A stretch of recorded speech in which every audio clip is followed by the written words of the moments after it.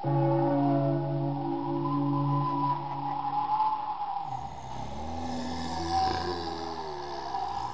and welcome to the Camera Show, where today I'm joined by a special guest, Mr. DJ Wizard, who has just undergone a wizard battle. So, care to tell us about your stories? Yes, Cam.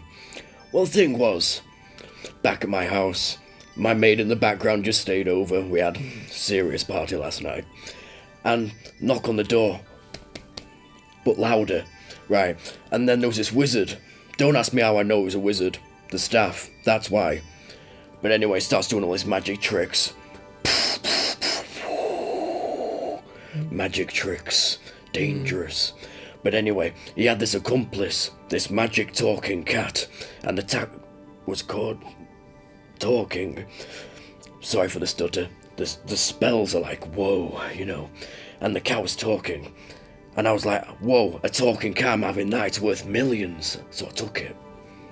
So, care to tell us your advice to give people about who have the same problem?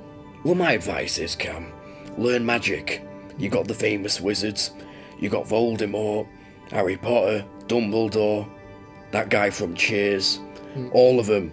So what you do is you summon magic powers, which I bought from Poundland. So I'm gonna do some right now. Heal, heal. That's why they call me DJ Wizard, right? Heal, magic. Right. Thank you for joining us on today's show. For uh, t- tune in next week for more experiences from other people. Thank you and good night. Happy, Happy Halloween. So,